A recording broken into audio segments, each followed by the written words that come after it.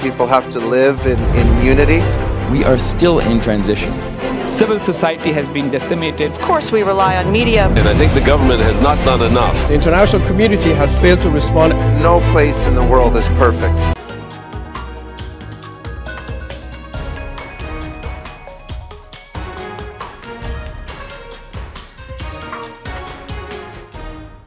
Hello viewers, I'm your host Lipakshi Kurana with another episode of South Asia Focus. Let's begin the show.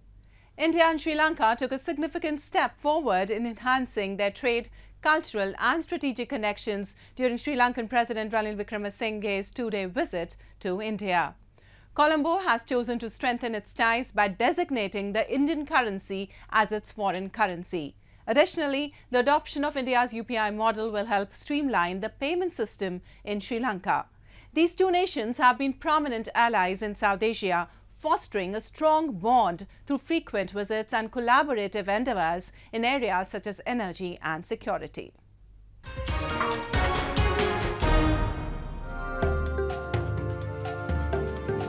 Sri Lankan President Ranil Wickremesinghe visited India for the first time since assuming office after Gotabaya Rajapakse's departure due to economic crisis-related protest in Sri Lanka. The visit followed President Wickremesinghe's recent statement affirming that he would not permit his country's land or water to be utilized against India.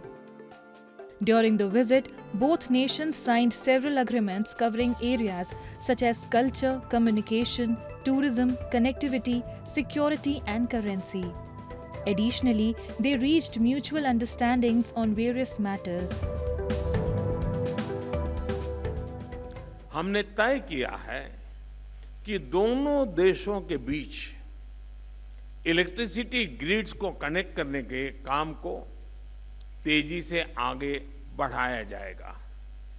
Bharat और श्रीलंका के बीच petroleum pipeline के लिए feasibility study की जाएगी। इसके अलावा एक land bridge की फिजिबिलिटी को भी जांचने का निर्णय लिया गया आज श्रीलंका में यूपीआई को लॉन्च करने के लिए हुए समझौते से फिनटेक कनेक्टिविटी भी बढ़ेगी In what could be referred to as one of the biggest victories of the Digital India campaign, Sri Lanka will now be using UPI-based system to settle transactions in the country. India and Sri Lanka will also focus on grid connectivity between the two countries, port development and renewable energy projects, largely in the northern parts of the island.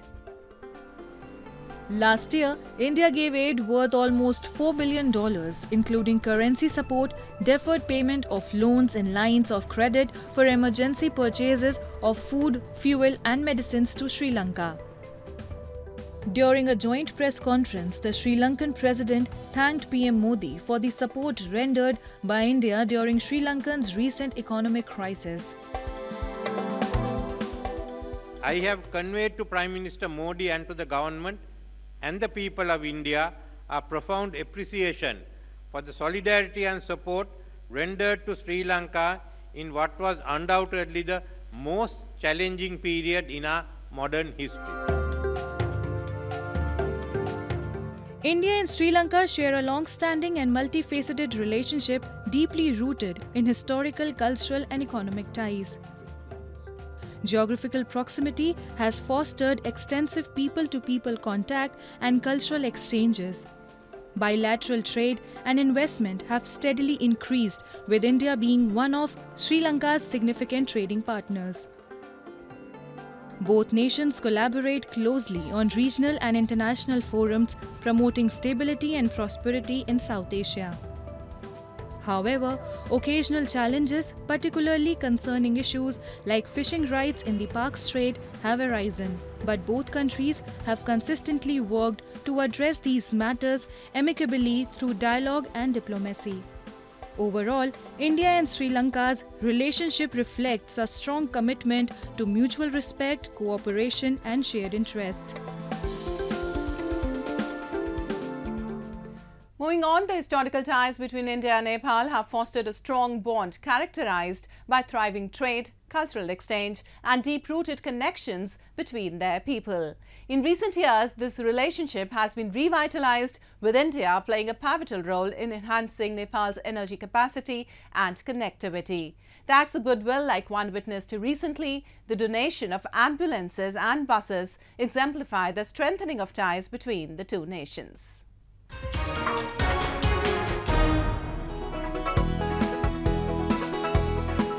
Government of India last Sunday gifted 43 ambulances and 50 school buses to Nepal under the Nepal India Development Partnership Program.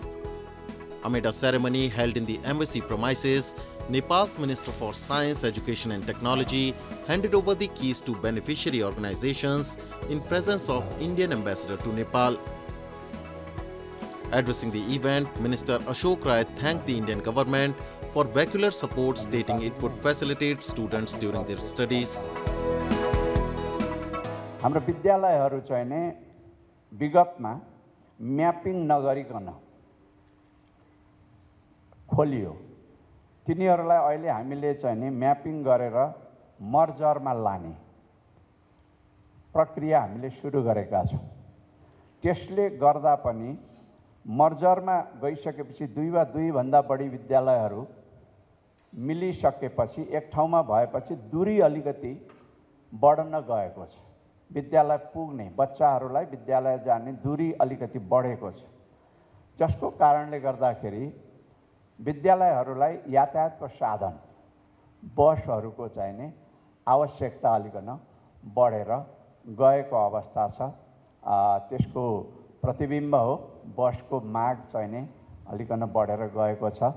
र आगामी दिनमा पनि भारत सरकारको यो सहयोग हामीले यो दूतावास मार्फत निरन्तर प्राप्त गरिरहनेछौँ र शिक्षा र स्वास्थ्य क्षेत्रमा नेपाली जनता लाभान्वित भइरहनेछन् भन्ने मैले विश्वास लिएको छु र फेरि एकपटक Since the Nepal-India Development Partnership Program came into force in 1994, India has been continuously providing Nepal a support of one kind or the other. Since then, India has gifted a total of 974 ambulances and 234 school buses. India has always maintained that Nepal is one of the closest allies of India. Announcing continued support in health and education sector, the Indian ambassador to Nepal, Naveen Srivastav, promised to raise the number of school buses in the days to come. तरह से स्कूलों का mapping हो रहा है स्कूलों के साथ साथ मिलाया जा रहा है हम भी देख रहे हैं कि आजकल स्कूल बसों की जो डिमांड है जो चाहना है वह बढ़ गई है और इसी को देखते हुए पिछले वर्ष भी और इस वर्ष भी और आगे के वर्षों में भी स्कूल बसों की तादाद एंबुलेंस के बजाय ज़्यादा होगी। हमें भारतीय दूतावास को, भारतीय सरकार को, नेपाल में अपने मित्र, अपने सहयोगी भाई बहनों के साथ मिलकर काम करने के लिए और उनके विकास के लिए जो भी कार्य कर सकेंगे, उसमें हम प्रतिबद्ध रहते हैं।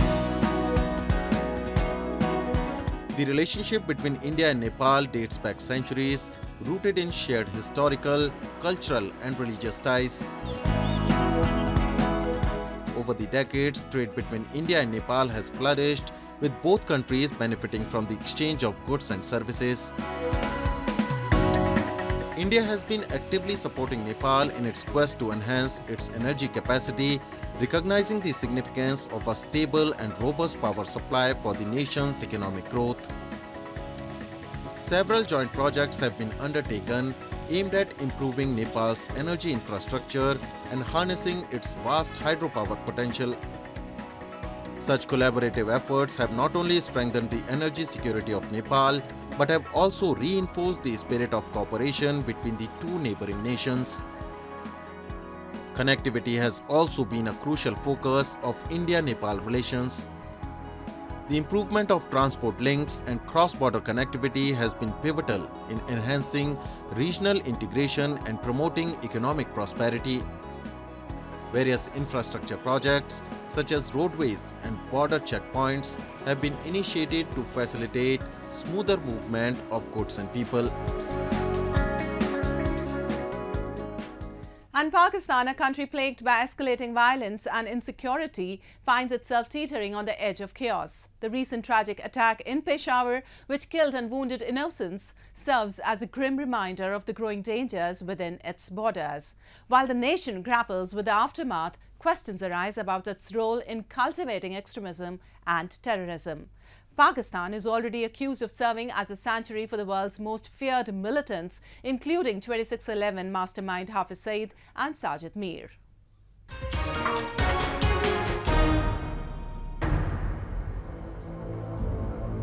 Last week, a suicide bombing near a paramilitary truck in Peshawar left two persons dead, eight others injured.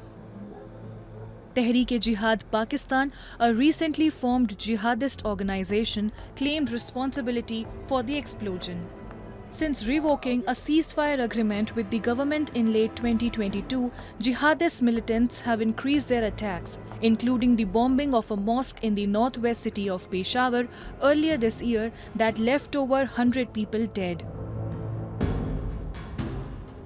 जिसमें फ्रंटियर कोर की गाड़ी को निशाना बनाया गया है अपेरेंटली अभी तक जितना हमने असेस किया है, ये एक वी भी हो सकता है। बाकी जावियों के ऊपर भी इन्वेस्टिगेशन चल रही है। इसमें हमारे पास काउंटर टेररिज्म डिपार्टमेंट हमारी जो यहाँ पे इलाके की पुलिस है और बाकी तमाम एजेंसीज जो हैं, उनकी सपोर्ट भी है और हम इसको डिफरेंट एंगल से अभी इन्वेस्टिगेट करें The recent deadly attack in Peshawar, claiming the lives of two innocent individuals, has cast a dark shadow over Pakistan's security landscape, raising alarm bells among its citizens and the international community. As the nation faces growing concerns over internal radicalization and terrorism, Pakistan finds itself at a critical juncture, grappling with the consequences of nurturing extremism within its border for decades. The attack in Peshawar serves as a stark testament to the escalating insecurity plaguing the country. The nation's long standing history of harboring radicals and terrorists in its own backyard has come under renewed scrutiny, challenging the very foundations of its security apparatus. इस incident में छः जो हमारे जवान हैं frontier frontier core के वो जख्मी हुए हैं उनको अस्पताल में शिफ्ट कर दिया गया है उनका वहाँ पे इलाज मुआवजा जो है वहाँ पे चल रहा है Experts warn that Pakistan's complex geopolitical dynamics and its status has a safe haven for some of the world's most dreaded global terrorist demand urgent and comprehensive action.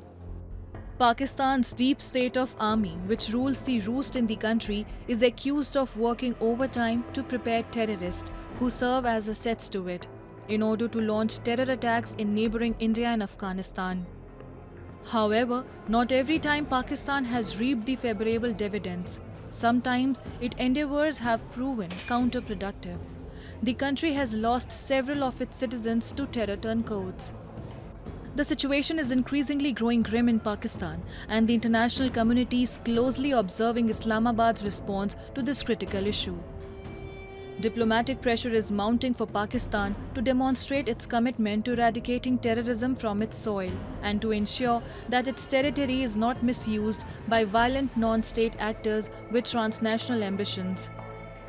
As Pakistan navigates the treacherous path towards stability and peace, its citizens hold their breath, yearning for a brighter and a safer future.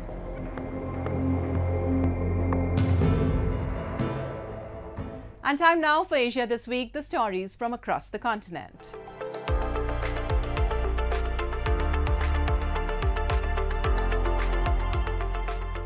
Many Thais expressed anger and disappointment after Pita Limjaroenrat, the leader of winning Move Forward Party and sole prime minister candidate of an eight-party alliance, encountered a complete blockade this week on his path to becoming the country's premier.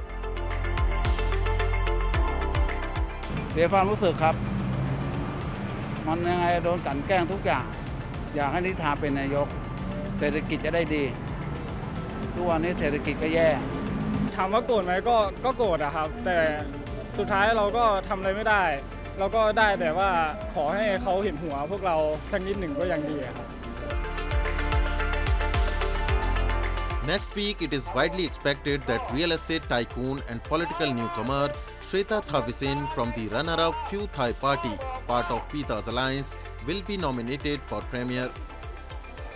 Parliament's move to deny Pita Limjaroenrat after a marathon debate on his eligibility triggered street protests as a post-election crisis deepens two months after his party trounced military-backed rivals in an election.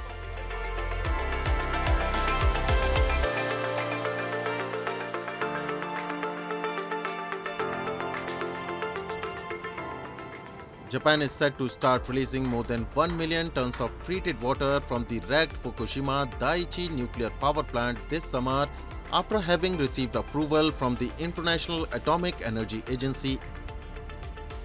The plan has caused alarm among neighboring countries and local fishermen, with China emerging as the most vocal of those critics, saying the plan would endanger the environment and human lives. Despite the concerns, a comprehensive review of the plan by the United Nations nuclear watchdog has said that the impact would be negligible and that the discharge would be in accordance with international standards. The water was mainly used to cool reactors in the aftermath of the 2011 tsunami and subsequent nuclear disaster. It is enough to fill about 500 Olympic-sized swimming pools and is being stored in huge tanks at the plant.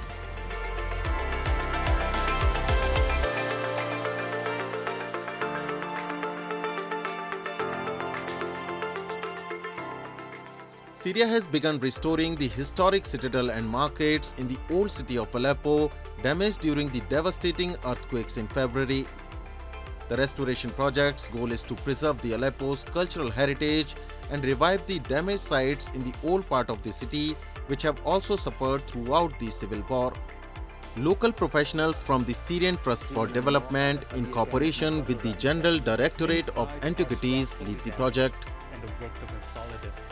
In the old markets of Aleppo, already damaged during the battles that took place between government troops and opposition forces, the earthquake exacerbated the destruction. The citadel of Aleppo is one of the most important archaeological sites in Syria affected by the earthquakes that struck on February 6 and it was closed after risks posed by the main entrance to visitors.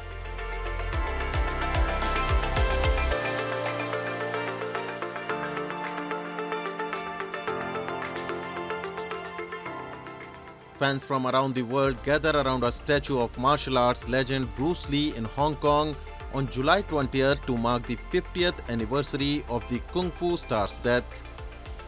Passionate fans could be seen practicing Lee's signature nunchucks and Jeet Kune Do moves in front of the statue which sits on Hong Kong's Avenue of Stars with the iconic Victoria Harbour skyline just behind it. Bruce Lee, who was born in America but raised in Hong Kong, passed away at the age of 32 due to brain swelling just days before the release of his famous film Enter the Dragon in 1973.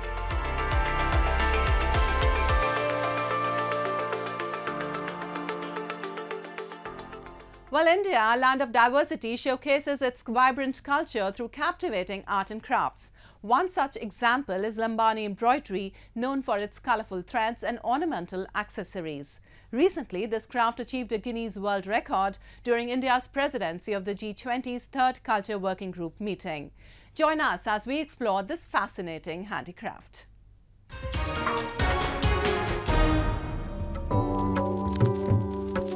An intricate embellishment of multicolored threadworks characterized by small ornamental mirrors along with patchwork is quintessential to Lambani women's attire.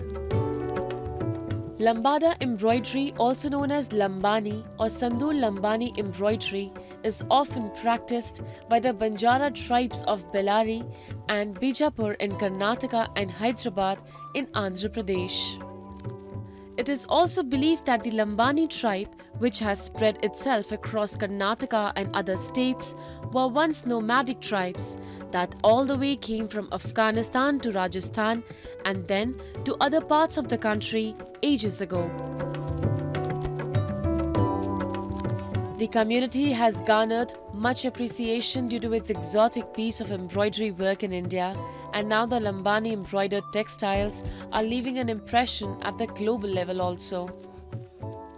the recent Guinness World Record for the largest display of Lambani items during the third Culture Working Group meeting of the G20 in Hampi mesmerized the guests. हमारे काम वो बहुत काम रहते महीने रहते पंद्रह दिन होते आठ दिन में छोटा काम रिया तो आठ दिन में करते ये करिया तो एक वर्ष जाना हमारे को ये होता वो एक वर्ष हाँ बारह महीना होता पूरा हाँ, ड्रेस बनाना तो ये बनाया तो एक पंद्रह दिन में बनाते हैं The handicraft is not just a source of income for the Lambani tribes, but a reflection of their emotional associations and the passion for vibrant colors.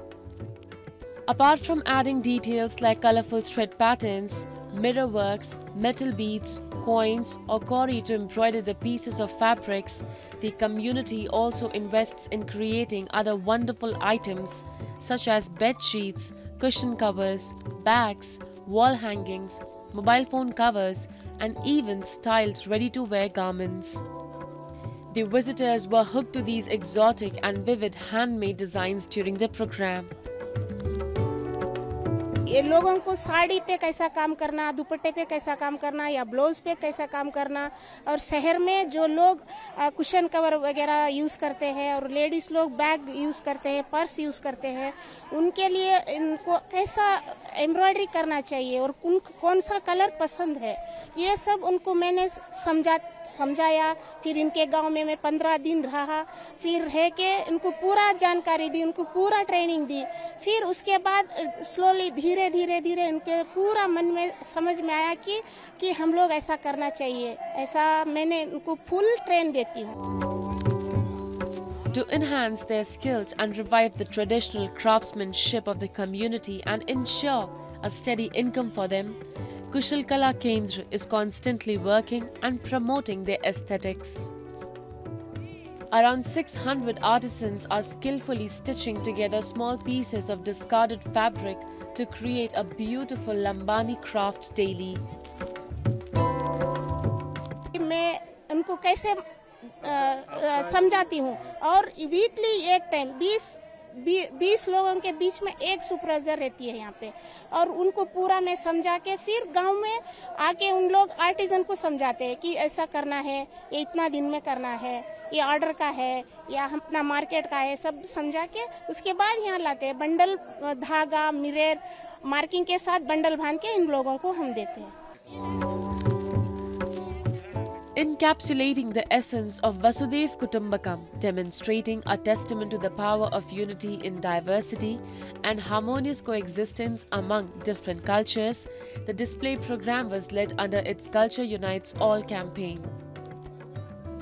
As a part of syndicated effort, 450 Lambani artisans and other cultural practitioners came together to create 1755 unique embroidery patches marking their highest ever while making a Guinness World Record. The rich embroidery tradition of the Lambani community is anticipated to bring numerous business opportunities from across the world. एक group से एक हमारे लिए एक बहुत बड़ा आ, आ, मौका था और हमारे जो कम्युनिटी है लम्बानी जो बहन लोग जो काम करते हैं जो लेडीज़ काम करते हैं उनके लिए एक नया अवसर मिला तो हमको बहुत खुशी हो रही है कि हम लोगों ने कल जी ट्वेंटी के जो सी डब्ल्यू जी हम्पी में जो हुआ, उसमें हम लोग ने वो वर्ल्ड रिकॉर्ड को अकम्प्लिश किया और होपफुली इससे ग्लोबल में हमारा नाम बढ़ेगा, भारत का नाम बढ़ेगा, हमारा संडूर कला केंद्र का नाम बढ़ेगा तो हमको अच्छा मौका मिलेगा The craftsmanship of the colorful Lambani community is mere glimpse of India's rich tradition and cultural creativity. However, there are multiple examples of such art pieces that would leave you awestruck at first glance. While India is home to a number of such arts, with that we come to the end of this week's episode. See you next week. Goodbye and take care.